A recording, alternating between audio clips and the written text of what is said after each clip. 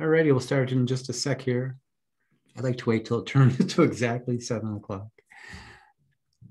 Give everyone a chance to get into the room. I mean, I never like showing up on time, and if I had the option to just roll up 10 seconds before, I would not be there 50 seconds before. Exactly. That's my, my thought. Oh, yeah. The numbers are just going up and up. That's great. Yeah, that makes sense.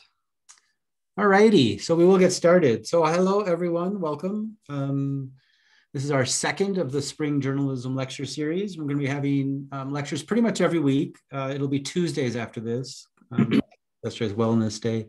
Just a few things, and then I'll introduce our speaker. I'm Will Yurman. I am the Norman Eberle Professor. I have to actually read what I am. Professor of Professional Practice in the Donald P. Bellisario College of Communications Journalism Department. Um, I'm going to introduce our guest in just a second. I want to thank the Eberles, um, whose generous donation to the college um, funds the professorship and funds uh, the, the, lectures that we're having this week, as, as well as lots of other um, opportunities for students um, every semester. I'm very grateful for them. Um, and just to promote what we've got coming up over the next few weeks, we have a really interesting list of uh, speakers coming up. Next week, Andrew McGill, who's another Penn State alum, a journalism alum, is going to speak. He's the, um, he works for Politico, where he's on their interactive team. So he's going to talk about his work there. Excuse me. If you've never been to a webinar different than a Zoom meeting. We can't see you, so you can sit back, take off your shoes, put on your pajamas, whatever you want. Um, if you have questions, there's a Q&A button and a chat button should be at the bottom of your screen. Drop in your questions and we'll either answer them as, as Dan goes along or we'll take them at the end after his presentation.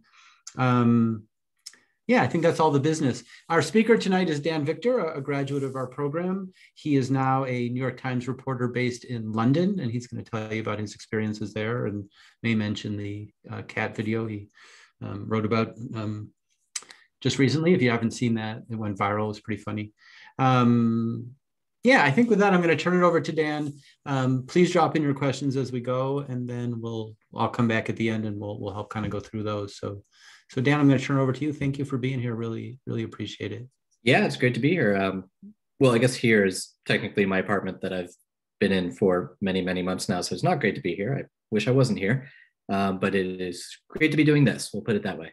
Um, I uh, so as you said, I'm a Penn State alum myself. Um, I used to try to come back to campus as much as I could uh, partly just because it's nice to come back to campus, but also because I grew up in State College. So my parents and my dog are still there. I miss all three of them very much. Um, and uh, so I, let me start by just telling a little bit about my journey, about how I got from there to here. Um, so I graduated from College of Com with a journalism major in 2006, uh, State High before that in 2002.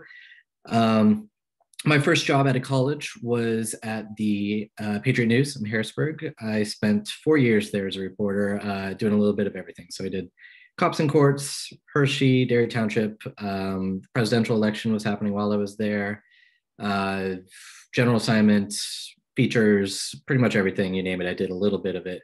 Um, in those days, it was kind of the very beginning of uh, Twitter starting to first become a thing, and when I first heard about it, I thought it was the most absurd thing I had ever heard of. Why would anybody ever want to use this thing? Nobody cares what I'm having for lunch, et cetera, et cetera.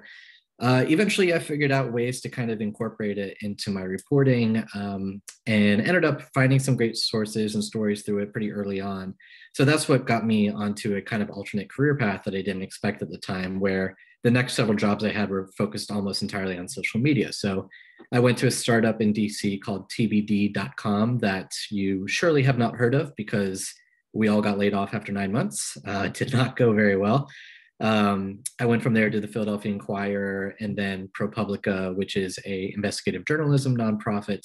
Uh, before I started at the Times as a social media editor. Um, excuse me. So I started there as a social media editor, um, trying to figure out what the Times should sound like on social media, um, how to incorporate reporting or incorporate social media into our reporting. And I had that role for uh, two years. Um, I got there in 2012, so I've been at the Times for eight years total now. But I was doing that role for two years before I moved into various other roles that turned into what I'm doing now, which is a reporter on what we call the Express team, which is essentially general assignment. So um, once again, I'm doing a little bit of everything. Um, as you mentioned uh, yesterday, I was very happy to have written the uh, cat lawyer story, which was very, very exciting day in my life. Uh, I got the cat lawyer on the phone. I was very proud of that. Um, I do uh, much more serious journalism as well. Um, you know, explainers on the protests in Hong Kong and Belarus, serious breaking news around the world, whether it's terror attacks, shootings, uh, major weather events, coronavirus, all kinds of uh, mayhem. Uh, so I do a little bit of everything at the Times, and it's it's been a lot of fun. Um, excuse me. I'm happy to talk uh, more about the Times later, or career paths, or anything like that. Um, but I did want to focus my main remarks here on social media. Um, partly because you know you, you, guys are hearing all the time about how important it is to use um, and i want to give you kind of more of a, a, big picture look at it as well as some more kind of specific pieces of advice that i can give you guys to take back um, but the uh, important thing for me is that it's used not just to kind of throw your stories out there to try to get traffic to your stories but also how you can use it to produce great journalism while not going insane at the same time. Um, I do want to acknowledge that uh, the way that I use social media is definitely going to be different than the way that all of you guys use social media in a lot of ways, largely because it's different for everyone. Um, no two people really use social media in the same way. Um, we all have different personal identities. Um, we all have, um, you know, for me, I have this large platform through the New York Times um, and that really changes a lot about my experience personally. Um, but I want to make clear that I'm not really going to be talking about my experience too much. It's I'm trying to make points that will be much more universal. Um, you know, things that you I don't want you to ever say like, oh, it's easy for you to say that the New York Times, right? Um, I'm hoping that what I'm talking about will apply to everybody if I fail at that at any point, just knock. Um, you know, let call me out. Say, hey, you know, let's let's bring this back here. I'm hopeful it doesn't come to that, but if that does happen and you don't feel like I'm speaking to you, just just let me know. Um, so when we talk about social media, uh, I think a lot of times we talk, uh, we focus really on the negative, right? Uh, and all the ways that it's destroying our brains and changing our social lives, and kind of true. Um, certainly, it does definitely does have some destructive qualities, but I'll get to that later. Um, I think we need to start out with what's actually good about it. Um, you know, why we're bothering with it, uh, and, and why it's essential despite all the downsides, which we will go over. So, if I had to make arguments for social media, uh, actually for it, um, I think I would start with imagining what things were like before social media came around. So, if you're picturing whatever decade you want to picture 80s 90s early 2000s whatever it is um, you're picturing basically in any city or town in america you've got a handful of newspapers tv stations radio stations and this applies to both you know big national media and also local media right? Um, these handful of media organizations are, are basically kind of gatekeepers uh, of what people in any community uh, is paying attention to. Um, you know, if if the media wasn't covering something, it was hard to get anything to get discussed all that much or, or to get noticed inside the community. Um, so when you compare that to now, uh, instead of there being this kind of handful of all-powerful media organizations, uh, being able to use social media, not just journalists but everybody in the community, it, it distributes this power to a lot more people. So uh, you know a lot of these people who now have a little bit of ability to be heard uh, really weren't able to have that much influence before all this. So it makes it so much a lot more people have access to this mass media and, and more broadly kind of mass attention i guess i would say. And so many more people when they need to make their voices heard are, are able to be heard. Um, it's pretty good that's, that's a great thing for for society at large um, it can also serve as a safeguard for community if they're, you know, not getting the discussion that they think they need for whatever reason. Um, you know, in a worst case scenario, it could be because the the journalists or a media organization uh, they might be, you know, corrupt or single-minded, or, or um, you know, maybe they're, you know, exclusionary. Uh, maybe they uh, just simply have a newsroom that doesn't look anything like the community it covers. So maybe they don't even know that they're missing things whatever reason they have, um, those communities they now have this failsafe where people can say like okay so if the media isn't paying attention to this i'll get attention to this on my own i've got my own media right um, the net overall effect of this basically just means that we have so many more voices so many more perspectives that can make their way into the news media and, even if it doesn't people can still access those voices on their own um, so yes it means that the you know firmly established media is less powerful than it used to be but I, I think that's a in my view, that's a pretty clear win for society at large. Um, so I think the most important way to think about this is in terms of the access that it gives, especially underrepresented groups. So I'm going to um, now attempt a technology thing and uh, figure out how to share my screen. So give me just one real quick moment here to uh, work this out. I think it should only take a moment. And here we go. Okay. Um, so I'm going to show you four stories that were all written within a couple months of each other back in 2018. Um, this first one, uh, many of you probably remember this one. It was two black men. They walked into a Starbucks in Philadelphia for a meeting. Uh, manager tried to kick them out, ended up calling the police on them after back and forth. Um, this led to a lot of protests, both in Philadelphia and nationwide, about how they were treated. The Starbucks CEO apologized, et cetera, et cetera. Uh, story number two, a couple months later, in this one, a woman noticed a group of Black women she didn't recognize exiting a home in her neighborhood, and uh, she assumed that the women were burglars. So she called the police. Uh, they were, in fact, just very, very lawful guests of an Airbnb, did nothing wrong. In this one, a uh, Black Yale student was napping in her dorm's common room, and uh, someone called the police on her for it. That's it. She was literally just napping. Uh, in this one, a Black student at Smith was reading uh, and eating lunch in a common room, and a student called the police because she, and this is a direct quote, seemed to be out of place.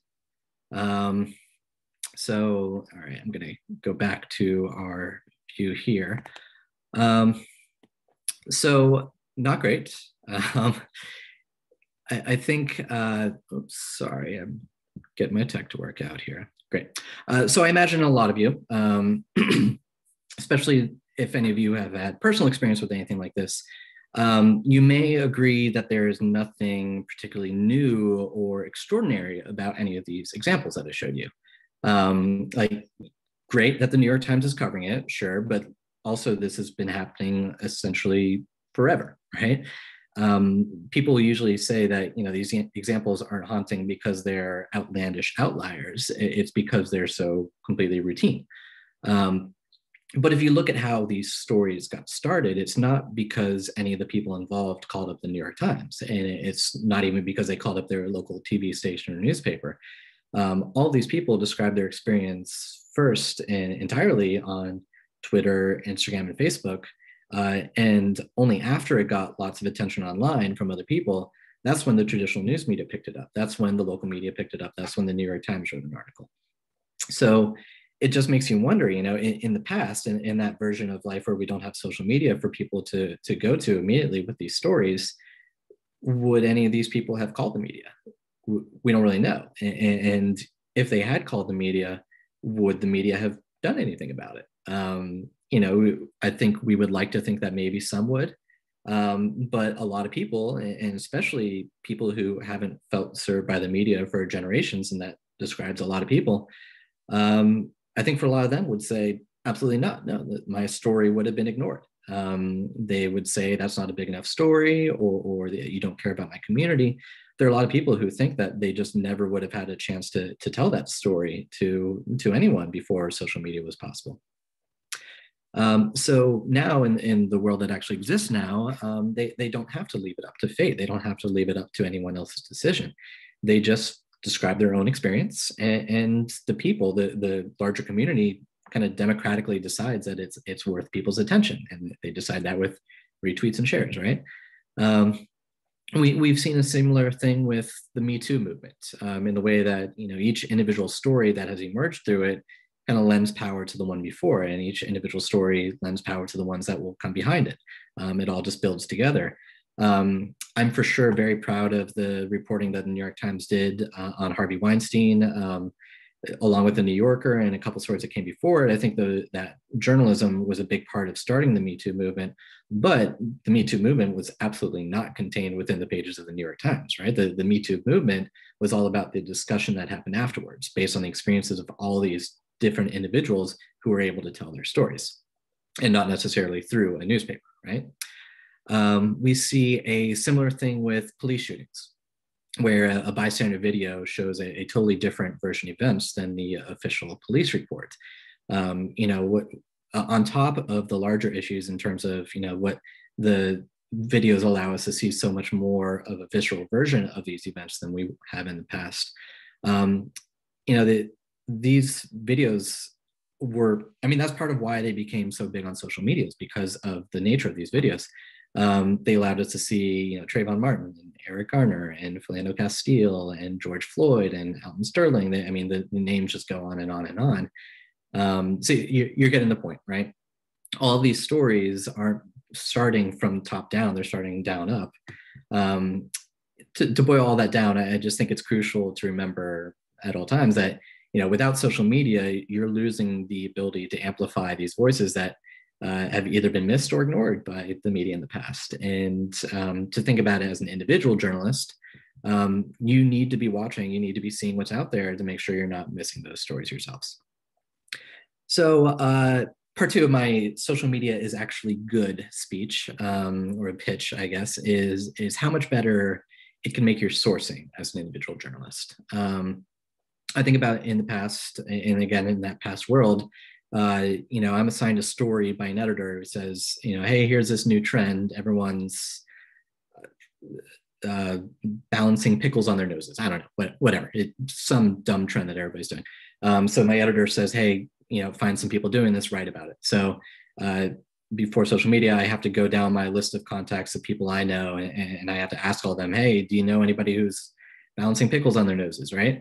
Um, and I have to hope that maybe they happen to know somebody. And uh, it just reinforces this problem that uh, the media often has, where if you're only writing uh, about people one degree of separation from you, you're probably writing about people who are relatively similar to you in a lot of ways. Um, you're not necessarily capturing the whole world out there, which is an enormous world. Um, you know, I guess maybe you could walk through the the lunch tables at the hub and try to talk to random people. You know, excuse me, I'm a reporter at the New York Times. Do you balance pickles on your noses, right? Um, and you just go one by one by one, hoping to eventually find somebody. It's not the most efficient way to do it. And again, you're only going to get people who happen to be at the hub at that specific time. Um, so now with social media, potentially anybody can have access to you, not just the people in your circle, not just people one degree away or people who you chance upon, but literally anybody in the world if things break the right way. Uh, an example is recently I wrote an article about uh, what it's like in lockdown for single people who live alone and about the specific challenges that they've faced that other people have not. Uh, and when I did this, I wanted a, a, pretty wide range of, of, single people to tell me about their perspectives. And uh, so I, I, put out on Twitter, "Hey, I'm working on this story. Um, you know, I'm looking for people to talk to. Please let me know if this describes someone you know." And uh, because it got retweeted a couple other times, it got out of my immediate circle. I'm able to talk to people from Jerusalem and and Portugal and London and Chicago and South Carolina and Texas and New York and uh, again, this is one of those moments where yes, it is different being at the New York Times. So I, I recognize that, but I do think that that can kind of happen at, at scale when you're working for the Daily Collegian or Onward State or, or whatever it is you guys are doing. Um, so my last selling point then for the value of social media would be um, a, a, selfish one for you, um, you know, and how important it is for the careers of individual journalists, for, for you personally. Um, you've probably all heard by now that employers want to see you active on Twitter. Uh, in a tough job market, you need everything you possibly can to stick out. Um, but even once you have the job, it, it still matters. You know, I, I mean, um, we had a, uh, a, former columnist of the New York Times named David Carr. Uh, he apparently described his large Twitter following as the helicopter on the roof of the building in case things went wrong with the with the Times. He'd be able to take all those people with him. Um, a good example of this is uh, so I, I, myself am a big Philadelphia 76ers basketball fan. Uh, and there was this guy named Derek Bodner who used to work for Philadelphia Magazine and did just a great job covering the team. He, he became my favorite beat reporter, really, really enjoyed his work. And uh, he ended up leaving the magazine. But he had uh, developed such a large following on Twitter that uh, he started a, it's called Patreon. Um, it's kind of similar to Substack now, if you've been following that. But essentially, what it means is that his followers can pay him something like $4 a month. I don't remember the actual number, but something like $4 a month to get exclusive access to his articles. So you don't need to work for a publication, you just are working one on one with your readers. Um, and because he had built such a large Twitter following, he was able to turn that into actual money. Um, he now works for the Athletic, so he does have a full-time job now. But it was it did show that there is a potential backup plan that you can have for yourself if you do have your own following. Um, and uh, having a backup plan is a pretty good idea to have at this point. So um, I think just finally, I would note that if you're, and I don't want to get too like woo woo about the social media stuff, um, but I do think it is actually true that if you are following the right people, it really can expose you to new ideas. Uh, it can challenge your positions. It can open your mind to new perspectives. Uh, all this stuff is nutritional to the brain, and I really do think it does matter. So, uh, that's all the positivity I've got. Finally, we're done with that. That was exhausting. I'm glad to be away from that part of the speech. Um, I'm half joking about that, um, but I do think we should talk about some of the pitfalls that you've uh, got to watch out for. Um, so the main one for me is the uh, the danger of echo chambers, um, where we think what we're looking at speaks for the entire internet. Um, no matter who you are, no matter how many interests you have, no matter your background, no matter you know how much you try to diversify who you follow, I promise whatever you're experiencing is a really tiny, tiny, tiny sliver of the entire internet. Um, it's just it's so easy to forget that because we see what's in front of us and we see repetition so much that we think that everybody's seeing the same things that they are, and I assure you they're not. Um, and I think it's important because if we don't keep this in mind, it, it, can really, really distort your sense of reality in, in, ways that will either make your journalism worse or drive you insane, one of the two. Um, so I think it's it's a little easier to see this in, in, really extreme cases, like if people go down the QAnon rabbit hole or, or some other kind of very specialized corner of the internet. Um, I think it's easier to recognize that, um, but it's important to understand that um, you don't have to go full QAnon for this thing kind of phenomenon to happen to you. It happens to some extent to every single one of us. Like 100% of us this is happening to to some degree. Um, it's just not representative of everyone. Whatever we are consuming just isn't. Um, and and if you forget that it can kind of make you think that there's more consensus on things than there there actually is. Um, so what do i mean by this? That, that, everything you're seeing is this like kind of little tiny itty bitty corner of the internet. Um, most importantly, I think it means that what you think everybody has seen is probably barely registered for most people. Um, you know, this applies to celebrities, this applies to memes, this applies to in jokes. Um, you know, did you see this article? Like everybody's seen this article. Not everybody has seen that article. Um, a decent example of this is I mentioned earlier that yesterday I wrote that article about the lawyer cat, and I would be very willing to bet very willing to bet that there are people in this call who heard me say that and said, "What the hell is a lawyer cat?" Right? Um, you know, for people who have been online in the past day or two, yeah, there's a pretty decent chance that you've seen lawyer cat, but there are also probably people here who went on a hike yesterday and, uh, you know just was didn't check out Twitter today and um, you know never checks out Facebook and just didn't happen to you know your friends don't really care about it on Facebook. So yeah, while a lot of people know about Lawyer Cat, I, would be very, very willing to bet that there are people even here that do not. Um, and this happens all the time. Um, so when I write the story, um, I, I don't want to write it as, you know, for people like me who have spent the last three hours on Twitter watching the Lawyer Cat video and seeing other people like me sharing the Lawyer Cat video and other people writing about it, you know, analyzing it, whatever's going on. I'm writing for people who that didn't happen to. And again, this is a thing where the New York Times has this larger global audience, um, but the exact same thing applies uh, on campus for whatever publications you're working for when you first start out in the journalism world.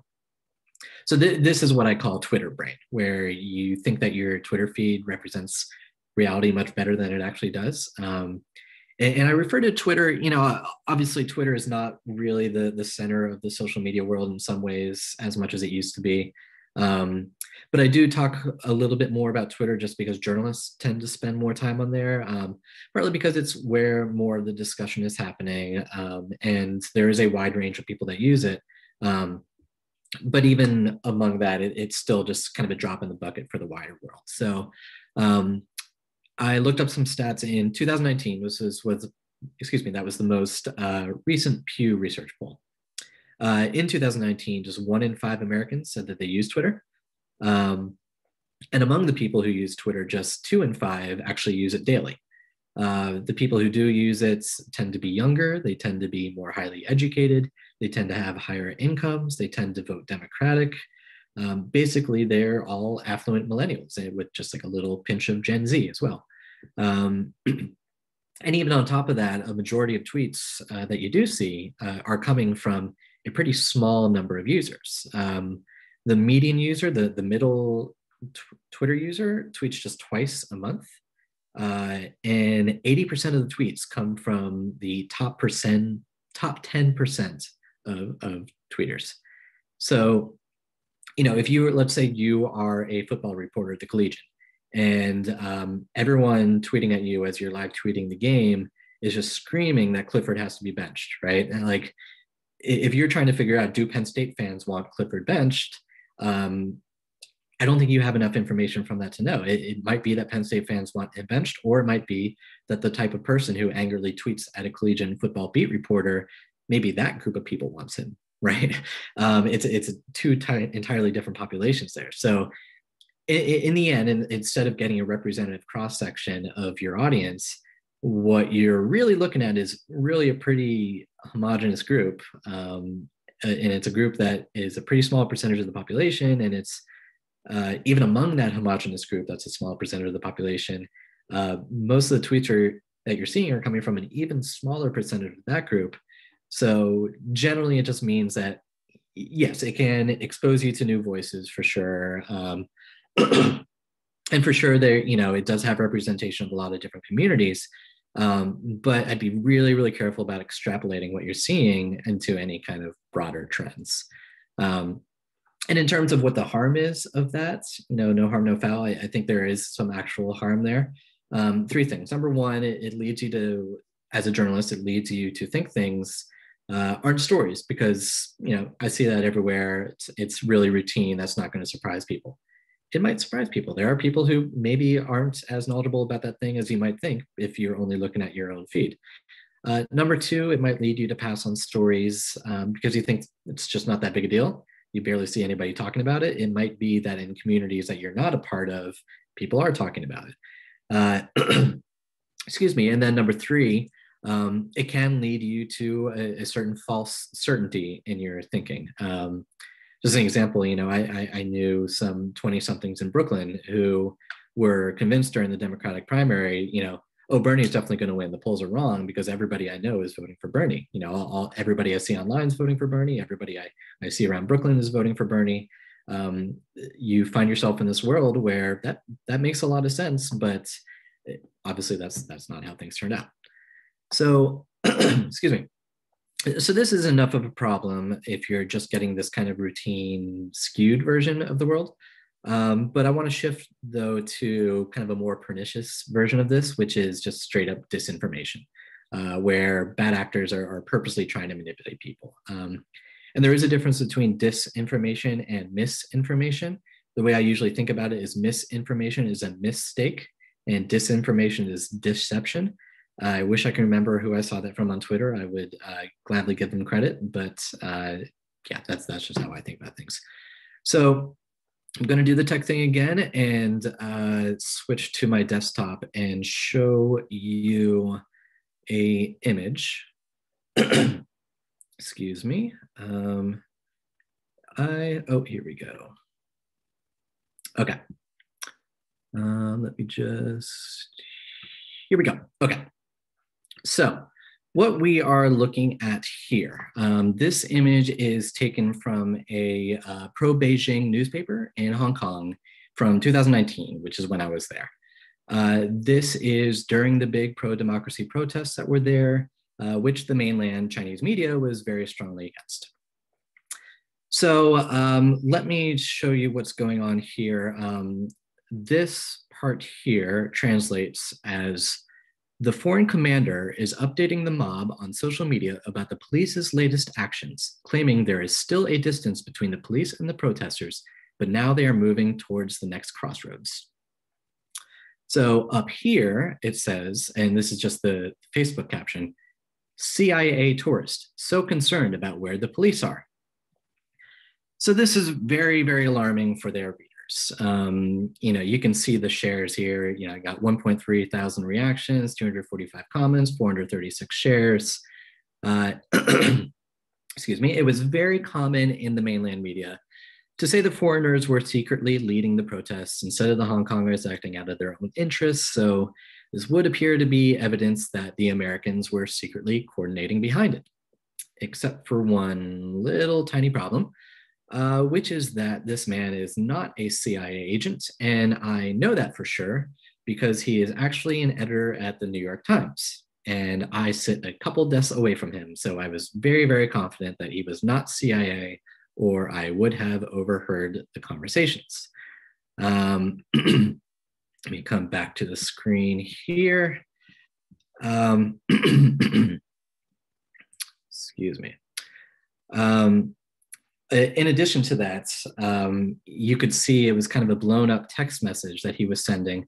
You could even see the name Ezra Chung, who, if this newspaper would have bothered to even just Google his name or do any kind of search of his name, they would have seen that he was not texting protesters the location of the police. He was actually protesting a New York Times reporter. It was very, very easy to figure that out. So, what we're seeing here is not just a simple mistake. Um, it's not misinformation. It's it's not a matter of, of, different perspectives in a way that kind of a left-right issue might be in the US, right? Nobody's going to say, you know, oh, well, some people think that this man is a CIA agent, eh, but some people think that he is not a CIA agent. We, we don't know, right? It, it doesn't work that way. This is just very definitively saying things that are blatantly not true uh, without any measure at all to try to verify the facts. There's just zero debate possible on this. Um, unlike a lot of political arguments, this is just simple facts and simple misinformation. So when I was in Hong Kong, you, you, saw this phenomenon where there were people from Hong Kong who had uh, an open internet, could read whatever they wanted. Uh, they would see things completely differently than their friends and family on the mainland in China, where people there could only get their information from the, the heavily censored internet. Um, you, you know, you would have, uh, you know, the U.S., the U.K., a lot of Western countries, and Hong Kongers would they would generally see the protesters as these sympathetic figures fighting for democracy against a police force that had abused them. Uh, whereas most people in mainland China would see it completely differently. They would see them as spoiled kids, violent criminals, uh, you know, puppets of foreign powers. Uh, some more complicated political stuff that I won't get into because we only have so much time. Um, but the the point is that this echo chamber that various people are in uh, has just created a totally different reality, just completely separate from one another, where even the basic facts cannot be agreed upon. So this is a pretty extreme example uh, of the echo chamber um, because of the way that China very strictly controls the internet inside its own borders. But I don't want you to think that it can only happen in an extreme case like this. Um, instead, to think about you know the, the little tiny ways that the same patterns kind of emerge in our own media diets, in our own social media diets, in our own friendship bubbles, whatever it is, the, the information that we're surrounding ourselves with. It doesn't take outright censorship by the government to, to kind of narrow your field of vision, where we're already narrowing our own fields of vision all the time, um, to some extent at least. And, and, that's impossible to avoid no matter how hard you try.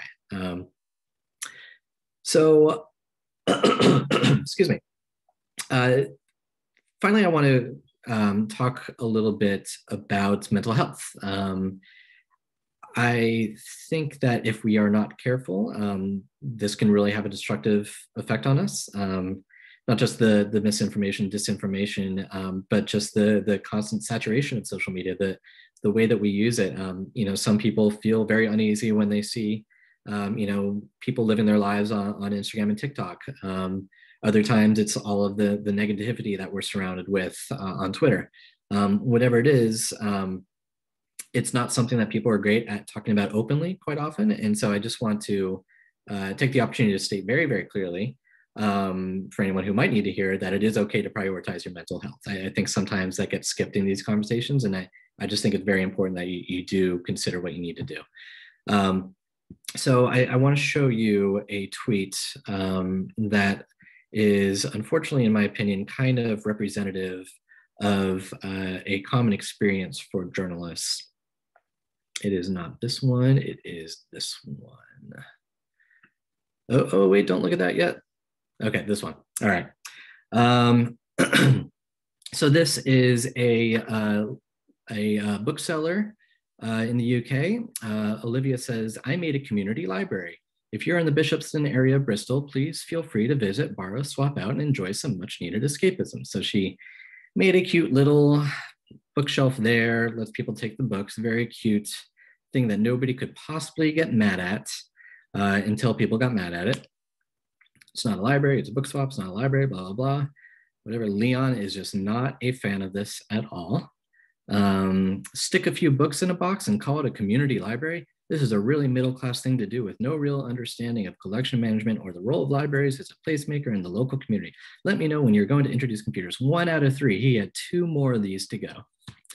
And finally, if one day you are thrown in the back of a Jeep or a dust cart instead of an ambulance, you might wish you had cared more about preserving our glorious public services, had understood, had shaken off your complacency, and had done your best to save them. So take that, Olivia. How dare you put those books outside your place? Um, unfortunately, that is um, a bit of a uh, common thing in that, uh, yeah, we're uh, going to deal with some unwarranted negativity sometimes. Um, if you're not careful, you can find yourself in this kind of inescapable cycle of negativity, constant doomsdaying, um, because the you know the news is depressing. The news is really, really pretty depressing sometimes. Uh, and being angry about things is a major part of how we communicate on social media. That's just kind of how it's always been. Um, so some of it, you know, like this example with the library is almost, excuse me, is, is so absurd as to be laughable, right? Um, in, in some ways, that's kind of the, if you're going to get a weird response, it's kind of the best kind because at least it's, it's easier to laugh off. Uh, for me personally, my rule is that you you kind of have to earn the right to hurt to hurt me, to harm me. Um, you know, if you're clearly just lashing out it, without putting much thought into it, I, I'm not going to take that criticism too seriously. But if you made a good point, or if it's from someone calm-headed or someone I respect, I'm going to take that criticism very seriously. I, am fairly thin-skinned, unfortunately, and I'll probably be in the fetal position for like three days if that criticism comes from someone I respect or someone making a good point. Um, so it's a little easier to laugh it off when it's just completely absurd. Um, but other times, unfortunately, and uh, this is especially true for women and, and people of color, uh, it can work its way into threatening and, and abusive. Um, and it's really, really not fun to read or, or to be a part of. And um, if that happens to you, you know, there's a there's a lot written on the internet about out, about how to handle that and i think that might be a better resource for you but i would suggest reaching out to people. Don't do that alone um, whether it's a professor whether that is a, a, a teacher a, a friend or, or, a journalist online um, you know this once you get into the working world there's a decent chance that some degree of this could happen to you can also happen to you now you know like it, sometimes your tweet will go viral and all of a sudden people you never expected to be in your mentions are somehow in your mentions being really really rude about it. Um, so uh, just know that if that does happen to you that you wouldn't be alone that there are other people who have been through that experience who, who would be able to help you.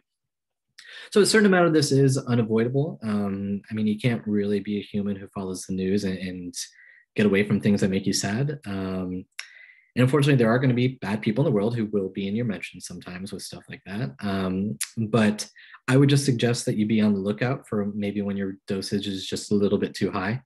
Um, and if it does, don't be afraid to pull back. Uh, I mean, this may seem elementary, but I, I, just don't think it's said enough that you just got to do what's what's healthy for you. Um, you know, that might mean tweeting a little bit less than you did before, even if you know I'm saying you need to do it to help get a job, or, or all your professors are saying that if that's what you got to do, that's what you got to do, and that's the right decision for you. Um, it, it, could be setting limits on, on how often you check social media. Um, I know for me personally, when I went to Hong Kong, because we had a 12 hour time difference, America was asleep most of the time that I was awake.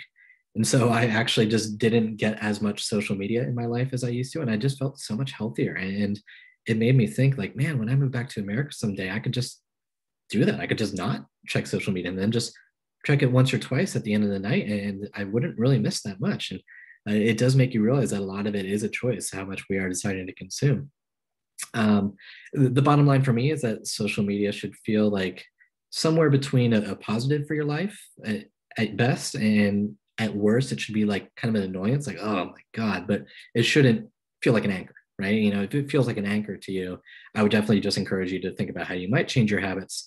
Um, I have a friend named Karen Ho who uh, tweets a daily reminder to people to stop doom scrolling uh, when you just keep scrolling and keep getting mad about everything that you see. And um, at some point, you just got to stop.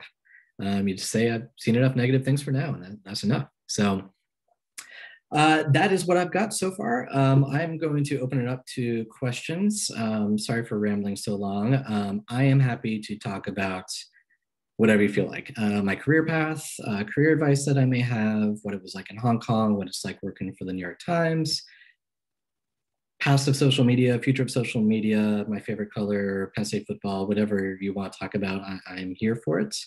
Um, so, Will, if you can come back, are you going to uh, help with that? Yeah, I can. I can sort of moderate that. So we have a couple of questions already.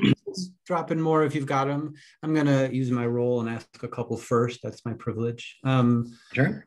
I, I was curious of a couple of things that you said. You talked briefly about the good side of social media, but you talked about the sort of democratization of it and how everyone has a voice. And and your career sort of spans the the kind of the real growth of social media and Twitter.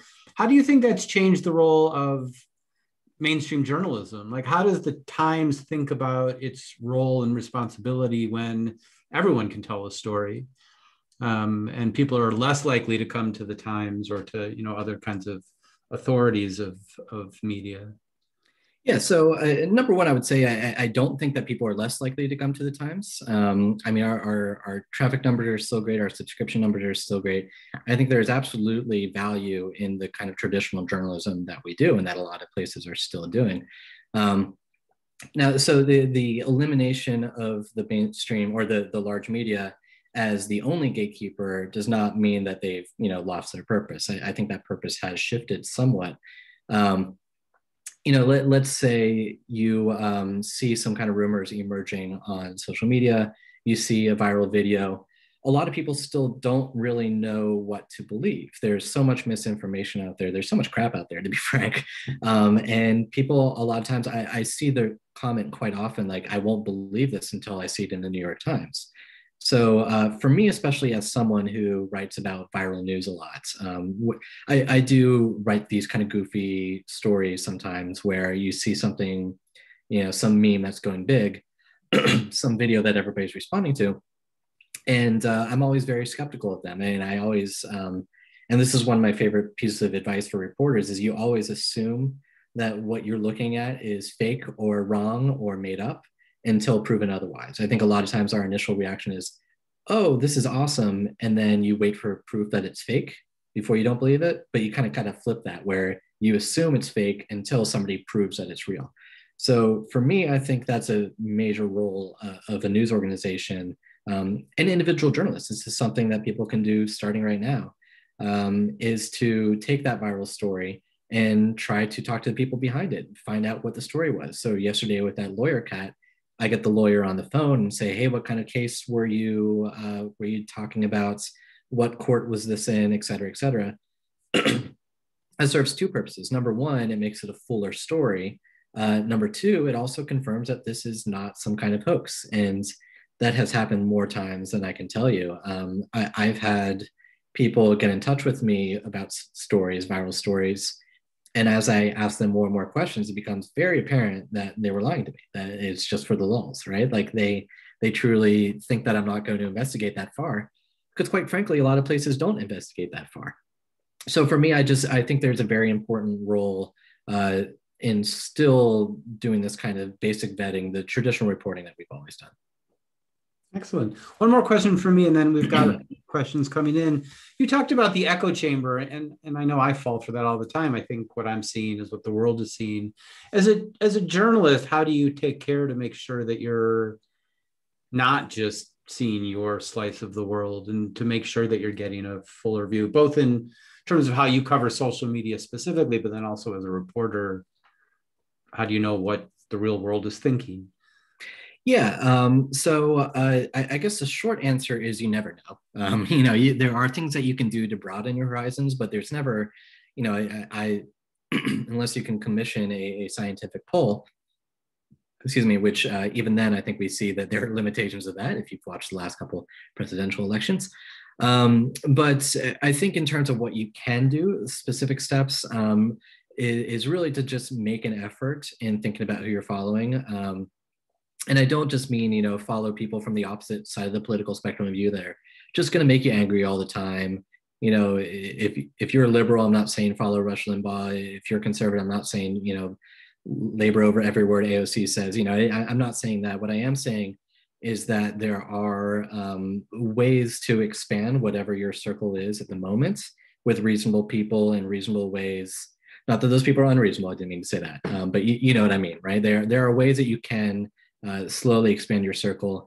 Um, for me, I always try to make sure that uh, you know I, I'm reading specific authors who have focuses on things that I may not think too much about. You know, I'm making sure that like yeah, I like sports and video games, um, but you know, I, I'm making sure I follow people who do book reviews and you know, magazine writers and and feminist writers and uh, you know like a little bit of everything right is all i'm trying to say so um, trying to just expand that um, and beyond that i think it's just more just the being able to recognize that you have a limited view uh, kind of prevents most of that damage from happening you kind of have to accept that you're never going to get the full view but you just want to make sure that you're not screwing yourself up because of the lack of it Good advice. All right. Thank you for that. So let me go to the questions. We have a let's go sisters. That's just a comment. I'll throw that out there. Um, Let's see. First question is How do you feel that political figures over the past decade using social media has influenced journalism? That's a good question. Um, I, I, think that um, it's been fascinating in a lot of ways.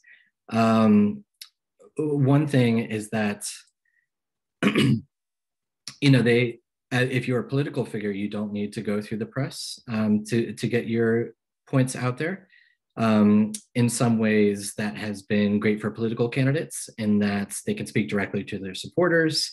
Um, they can get into these communities where their ideas are going to be received well.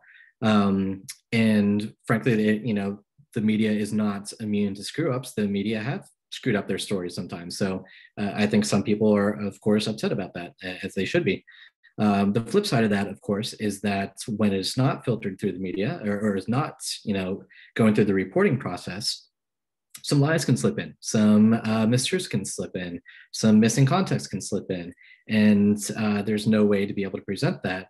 And so uh, when people start to feel like, oh, I can go directly to my uh, candidate and I don't need to go through the media, uh, that kind of lends itself to this echo chamber effect, right? Where you're, you're never going to see this information that uh, could change potentially how you feel about this. Um, so I, I, think in some ways it has uh, led to a more informed elector, but in some way it, it does raise some concerns as well. Do you think newspapers or you or the Times have changed the way they write about some of that, like the tone? Um, I mean, I think specifically about you know now former President Trump and how controversial he was with his tweets. Did did that then push journalism to respond more extremely? Like, is that? Do you think the style of writing or reporting has changed? Yeah, I mean, to to some extent, um, and I should say that I, am not too closely involved with the politics coverage, so I, am probably not too knowledgeable about the the ins and outs of our, our, our Trump coverage. Um, but what I would say is that um, you know, Trump was, was certainly a different case in terms of how he uses Twitter versus most politicians, of course. Um, I think there was some, um, let's see, how do I put it? Sorry, it's uh, almost 1 a.m. here, so my brain is only slightly working, so I may be not as fast as I normally would be. Um, sorry, my brain lost the question. I'm so sorry. no, no, that's totally fine. I was just wondering if if the way politicians are using um, Twitter and sort of the extreme ways, and I don't think it's just Trump. You know, I think that has spread to lots of politicians. Has changed, has sort of demanded a change from the way reporters then report about it.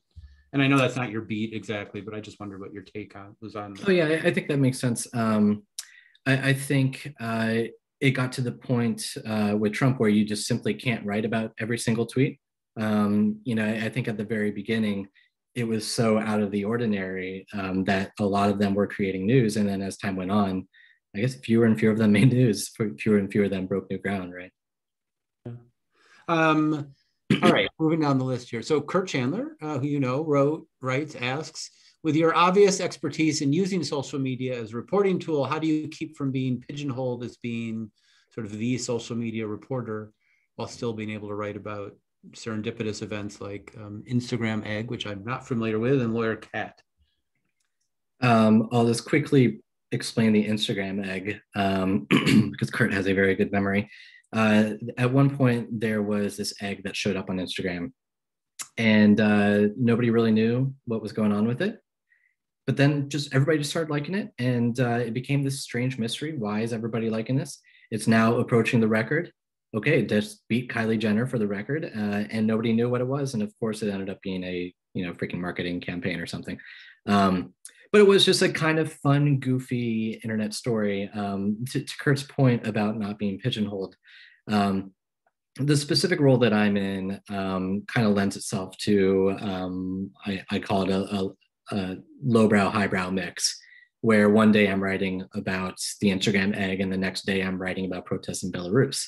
Um, so for my specific, I, I, would say that I am a little sensitive to that myself because um, I do, I love animal stories. I love goofy, weird animal stories. Um, but a lot of journalists are worried that they won't be taken seriously when they write the Belarus explainer if they do that. Um, to me, I think it just kind of exercises both parts of the brain. Um, and I would encourage the students here um, if you're in a position where you do find yourself starting to feel a little pigeonholed, is just like, oh, the young, like, internet trending reporter, like, oh, she's going to write about the memes, right? Um, if you are feeling that way, um, you know, really making an effort to show that you, you do have range. Um, and there's not necessarily any problem with just covering internet culture. I think internet culture is a hugely significant beat. Um, we have a reporter at the Times, Taylor Lorenz, who has just done an unbelievable job showing the business of influencers um, and, and, how it's just a, a, major, major industry now that affects so much of our culture. Uh, so I, I, I, don't think that there is any shame in covering internet culture, um, but I do think that um, if that's not something that you do want to be pigeonholed as, that um, you know take it upon yourself to to try to expand your range as much as your editors will let you. Excellent. What's next? what was your favorite and then worst part of working in Hong Kong? Um, the weather is way way better in Hong Kong. I hate the winter. Um, you know, I grew up in State College, so you guys get it. Um, it's very warm there, and there are beaches everywhere. It's wonderful. Um, but you asked about working there, so not living there. Um, you know, I, I, think so. I moved in uh, 2018 before the protest started, and uh, the protest started about six to eight months into my time there. Um, and it was just extraordinary being there for it. Um, as a journalist, uh, just such a fascinating story. Um, it, it, did mean at times going down onto the streets and uh, you know putting on the gas mask and the goggles and getting a I, I didn't get a lot of tear gas I, I, got a little little tiny bit of tear gas enough that i can say i got tear gas but i didn't really get the full on like i feel like i'm going to die experience that a lot of people did um, but it, it is uh, it, it was an endlessly fascinating story that i'm so glad i got to be there for both being out on the streets and constantly talking to hong kongers uh, about what it meant to them and, uh, the experience that they had of that um, so that would be my favorite parts. Um, the worst part, um, I guess I would. Uh, it, I, I, would see a lot of stories that required foreign language skills, and, and that was very frustrating to me. And then I, I, really wanted to to write the story out of Korea, um, but I, I, don't speak the language, so I can't. Um, I often felt like I was running into roadblocks there a lot because of that. Um, we, I, was extremely privileged to be at the times where we might be able to have somebody who works in South Korea who um, say, "Hey, can you translate this web page for me?" or whatever it might be. Um, but most people probably aren't aren't going to have that luxury. So, uh, yeah, that that could be a little frustrating. Yeah, I think not knowing the language is a big barrier to. But but beaches and warm weather seem like worth, worth it all. Um, I have those in London. um, so you touched a little bit on this next question, but I think it's a it's a really good one. Um, when you're talking about misinformation, disinformation, as well as then stories going viral, how do you verify a story before publishing? What what are the steps to make sure it's true?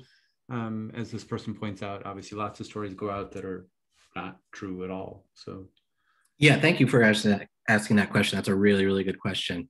Um, essentially, it's it's you know the same standards that you would apply to literally any other story. I think sometimes we have this temptation to uh, I guess lower our standards uh, just because it's an internet story. You know, oh well, everybody was talking about it.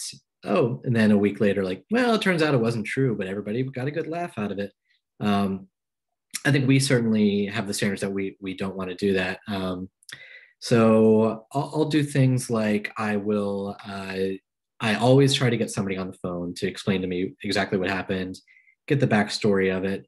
Um, an important concept to me is, especially when it's a viral video, um, a lot of times they are either intentionally selectively edited to leave out the context that would show that it was actually a different thing.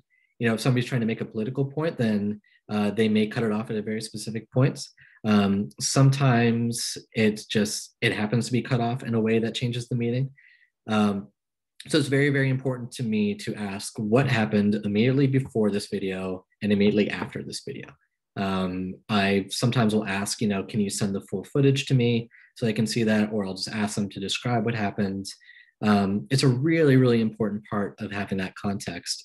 You know, it, you know, seeing somebody walk up and sucker punch somebody would look awful until you find out that um, you know right before the video was cut off the other guy sucker punched in right so uh, there's all sorts of ways that this can go wrong and, and it happens all the time as you point out um, so getting people on the phone going through the normal reporting process asking them questions asking them to produce documents asking them you know like hey okay so um, oh a classic one would be um, anytime there is any kind of major shooting in the US, there will be Twitter trolls who will change their location to the spot and say, Oh my God, I was in the mall. I can't believe this happened. Right. And so then their tweet will get embedded onto all these major news sites. And then they change their display name to like LOL pwned, you know, stuff like that. Right.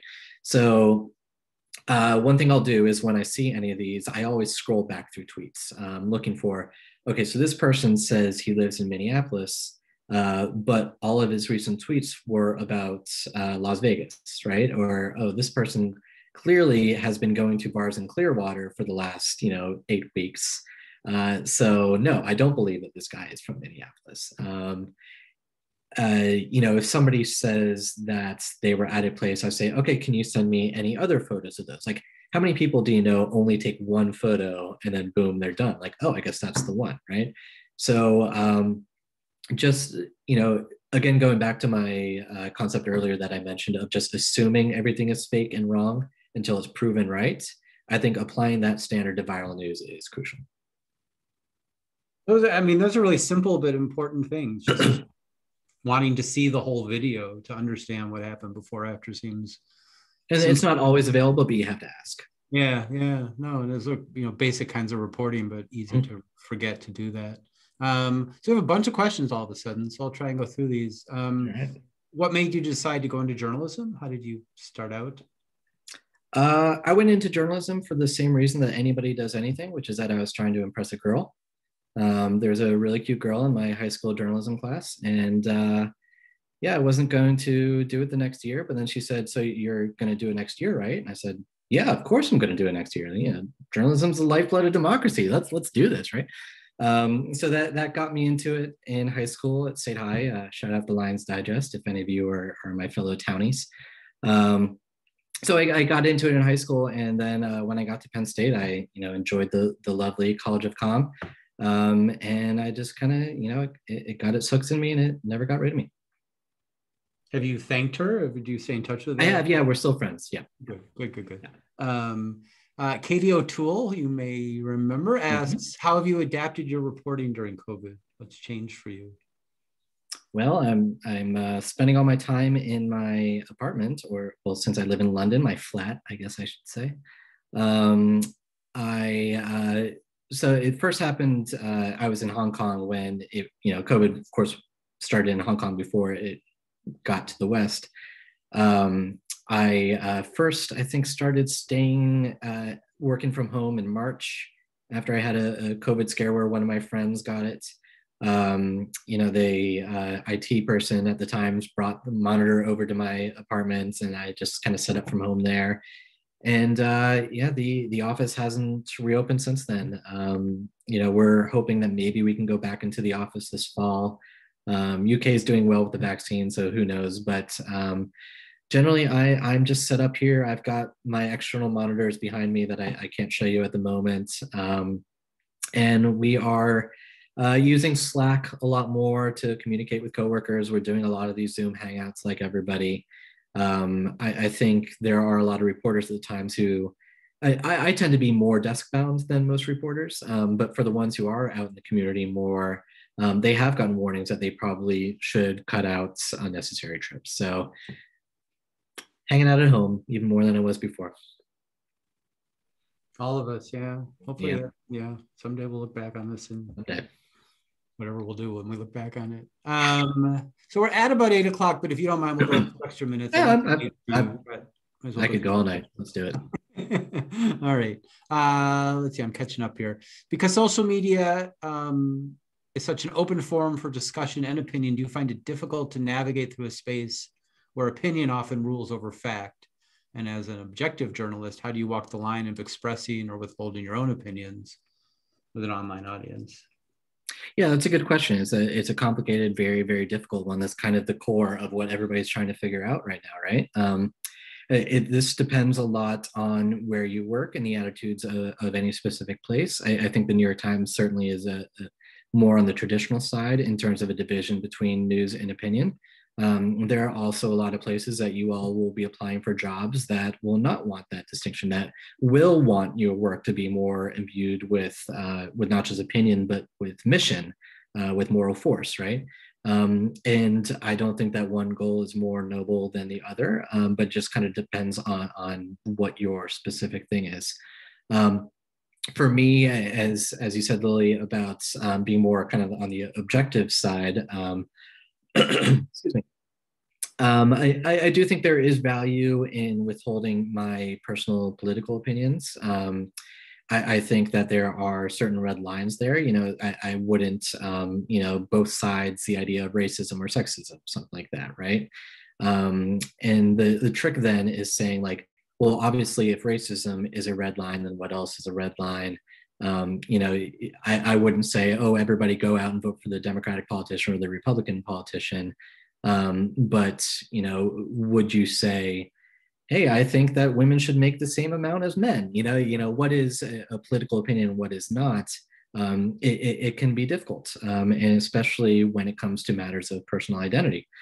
Um, so I, I, would just say, you know, I try to veer on the side of caution. Um, I just don't really, you know, if I have to debate whether or not I should send that tweet, I shouldn't send that tweet. Um, there isn't much to be lost by not tweeting. Um, so I, I, think it's just um, thinking about, you know, would a, a reasonable minded reader, and I'm not talking about the people on either wings, I, am talking about the people in, in who are reasonable, who just want fair minded journalism would they see this tweet and, and question anything that I've written? And, and, if that, you know, fair-minded person might question that, then I think it, it just, it, I'm better off just withholding it. Sort of a related question, I guess, is how do you think journalists should be using social media to advance their career? So beyond reporting, just as a way to, I don't know, find jobs, make a name for yourself, advance mm-hmm. yourself. Mm-hmm. Um, so I, like I said earlier, I, I, do think it is really important in terms of your own personal development and, and completely selfishly now, not for the news organization, just for you. Um, I, I, do think that, um, you know, it, it's not simply just tweeting out your articles, right? Um, I, I, think the main thing when you're trying to build an audience is just being a real person. Um, you know, the we have this tendency when you're working as a journalist, especially if, like me, you're working for a more kind of traditional place to, you know, really do a stiff collar and say, you know, you know, just this really kind of stuffy, boring, just real boring voice that we tend to have on social media sometimes. Um, and I really encourage you not to do that. Um, I mean, it, obviously there are lines to, you know, you don't want to get too much into, you know, TMI or or um, you know, oversharing um, but there is a lot, you know, I, as I mentioned earlier, I'm a Sixers fan and I'm going to tweet about the Sixers, even though that's not what I'm covering.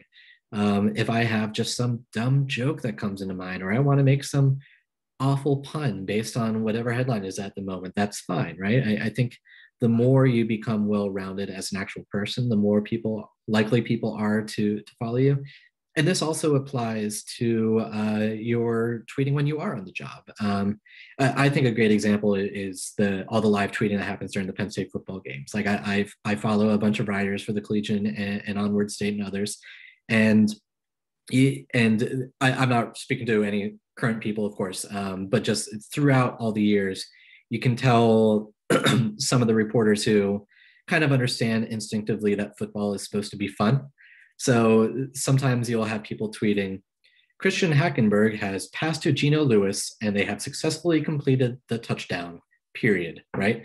Um, whereas another reporter says, oh my freaking God, did you see that unbelievable catch? 18 exclamation points, right? And that's how people perceive a football game you know that's how people are consuming it.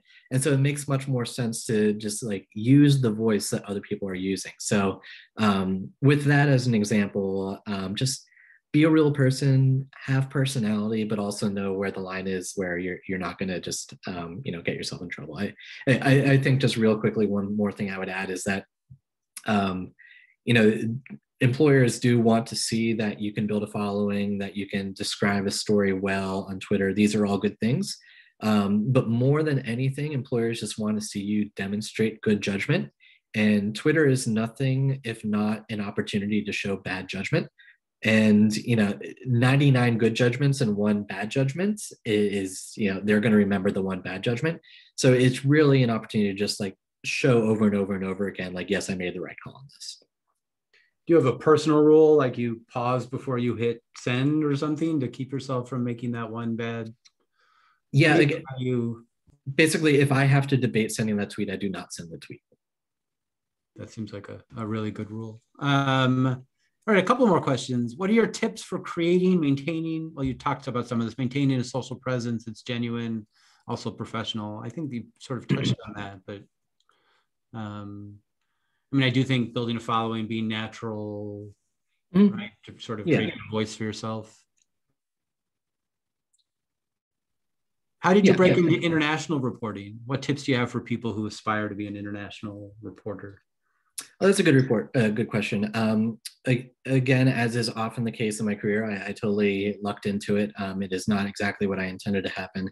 Um, for me, I, I, became part of this Express team uh, in New York, uh, where I was doing this general assignment reporting. Uh, and they realized that they had a need for somebody in Hong Kong, um, not necessarily because it was in Hong Kong, um, but because that's where our main base is in Asia. And uh, they just wanted somebody who would have the kind of 12 hour time zone difference. So I'd be able to spot a story that was happening, be able to write it, and it's done at 4 a.m. Eastern time in New York. Uh, so that by the time people woke up, it was already ready to publish instead of us kind of getting our gears turning on it at 9 a.m. when people get to work, right? So for me, it was more a matter of being in the right place at the right time. Um, but for advice that would actually be useful, um, I would say, um, you know, showing a keen interest um, in all, all sorts of regions, um, sharing the stories, interacting with other reporters. Um, I, I, think more than anything, having a expertise, uh, especially if you have it in a specific region, um, as opposed to being kind of a generalist, I think is important. Um, language skills is huge. There just aren't enough journalists that have language skills, especially um, you know if it happens to be a, a language that uh, is especially newsworthy. You know, Arabic, Chinese, uh, Mandarin specifically. Um, I, I, think there are definitely big opportunities for that.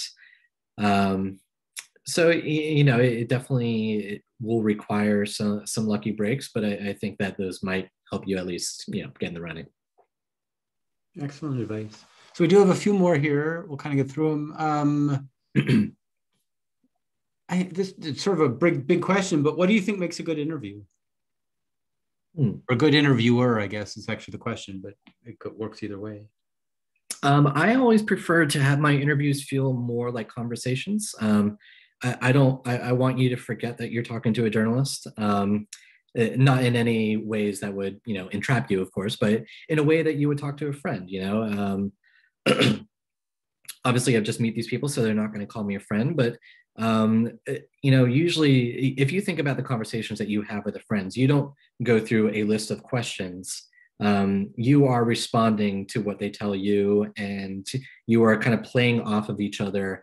A lot of times, the most interesting comments aren't, you know, you most of the time you're not asking them questions. You say something, they say something, and then that gets them thinking about another thing. So, um, treating it more like a conversation. Um, I think uh, I really make an effort to try to draw anecdotes out of people. Um, you know, oh, so this happened. Give me an example of, of, of why you felt that way, right? Um, let's see what else. Um, it's always nice if you can do it in person, but again, during COVID times, that's unfortunately less likely. Um, do you find yourself doing anything differently over Zoom or whatever mean, in terms of? Mm, I would say not really. Um, I think we're all a little awkward on Zoom, of course. You know, we all do this thing where, like I've been doing this entire time, where I'm looking a little bit down instead of right up at the camera at you. Um, so yeah, it's it's always a little bit more stunted when we're doing it here, but yeah, I think it's much more about the conversation and making them feel natural and making them feel comfortable. Um, let's get to a couple more and then we'll, we'll wrap things up so you can get some sleep. Um, when you jumped from the Patriot uh, Leader newspaper to an internet startup, it seemed like a huge gamble. What was there something that inspired you to make that big leap? And what would you, what advice would you give to maybe students in that kind of position? Yeah, so um, so the, the site that I work for is called tbd.com. Um, at the time, it got a lot of hype uh, in kind of the, the trade press. Um, and it was uh, created by a big company, Allbritton, that also owns Politico, um, to kind of try to make the Politico of local news. Um, that's a very much an oversimplification, an oversimplification of what they wanted to do. Um, but that was kind of the rough idea. Um, and so they brought in all these people from all around the country and it was supposed to be a very very very uh, digital first operation in a way that most places really weren't at the time.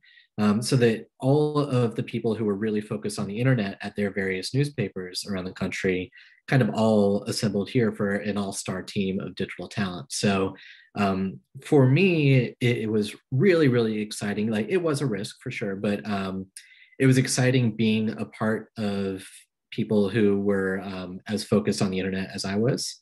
Um, and so it was just exciting being a part of that. And, and I thought it was worth it. Um, there were a lot of weird political reasons that it didn't work out that is not worth getting into. But um, yeah, I, I, just, I thought it'd be fun. And, uh, it had me move to DC, which I also thought would be fun. So, um, at the time, did it feel like a risk or did you feel like you were gambling? Did it feel like not as much. No, I, think that's actually a good point. Um, they did promise us a big runway that we did not get, um, again, for a variety of reasons, um, which will happen. Um, I, but I think that even if it had been a, um, if we hadn't had that promised runway, um, yeah, I, I, think under normal circumstances, it would have been a, a much tougher decision. Uh, in the sense of you know giving up stability versus uh, this exciting new thing because there have been a lot of exciting new things that haven't worked. Um, but I think a lot of people would tell you that being a part of that um, is really exciting and really fun, and it lets you create this exciting new thing in your own image and, and work with like-minded people. And so there's a lot of good that can come out of that. Um, it's you know, unfortunately, almost a rite of passage that a lot of journalists have been laid off at some point in their career. Um, a lot of them recover or, or, they move on to something new. So it's not the end of the world if it happens. Um, but sometimes it's just it's worth taking the leap. All right, two more questions, and then we'll let you sure. go. Um, do you read the comments on your story? Uh, I do. I do. Um, I, I, so this is uh, again one of those times when I'll mention New York Times privilege in the sense that our our comment section is pretty solidly different than any other comment section on the internet in the sense that we are extremely well staffed in a way that most places aren't able to do. And so that means that every single comment that you see on nytimes.com has been approved by a human editor. Um, and so you just don't get a lot of the just like random yelling that a lot of comment sections devolve into and just mean spiritedness that they usually devolve into. Um, partly because we have those, you know, those don't get in. We've created this culture where that's just kind of the expectation. Uh, and so, you know, I've seen the back end where all of the ones go in, and there aren't that many people leaving the the kind of garbage that you see at a lot of places. Um, it's actually a, an Instagram account that I highly recommend called uh, oh shoot, what is it? It's uh, like NY Times cooking comments, something like that. If you Google around there, you'll find it. Um, but it's just weird comments specifically on our cooking pages, and uh, I'm not able to uh, perfectly describe it right now. Uh, again, it's late, but uh, it's it's worth checking out. It's really funny. All right, I will take a look. I wrote a note. All right, last question uh, from Katie O'Toole: Is Twitter your helicopter on the building? No. um, yeah, I mean, it, it I, I, certainly, you know, David Carr was very famous and a, a, legendary columnist, and so he had more Twitter followers than I did for sure. I don't think I have quite enough. Uh, mine wouldn't be a, a, helicopter; it'd be a little beanie cap on top of my head more than anything. Um, but yeah, I mean, it is important to know that if I did move on to something new, um, that I, I would potentially have that support, and that it, that it, it might be part of what helped me get something new. Um, but I'm not really looking for anything right now. So, and and just I mean, a little more seriously, I know you're not maybe not looking for anything, but what do you see your 5, 10, 20 year plan? Do you think about that or what? Yeah, that's a, that's a good question. I mean, I, I don't know for sure. I, I, would like to hang on for dear life at the Times. Um, I, I've often described it as a bomb shelter where, you know, it, it may be the last place to employ a journalist if, if things go badly. Um, I, I, love it there. I just, I, I, love just the sense of mission, the coworkers, the, everything. It's, it's been a great home for me. Um, so I, I, would like to stay there as long as possible. But in terms of my personal career, uh, I really don't know. I, I, would love to have a good answer for that. Um, I like uh, refreshing myself. I like new challenges. Um, so I will probably just bounce around to new things every couple of years for as long as they let me. It doesn't seem like a bad plan to me. Yeah, yeah. All right. Well, thank you. I really appreciate that. This was great, and I apologize for keeping you up so late. Um, Not a problem. Thank you for joining us. Someday, maybe we'll bring you back here when you're coming home to visit family. We'll do this again. That sounds great. All right. And thank you all for the questions and for uh, hanging out. Appreciate it. Yeah, thank you. Thanks, everyone. We'll see you next week, I hope. All right. Good night, Dan. Good night.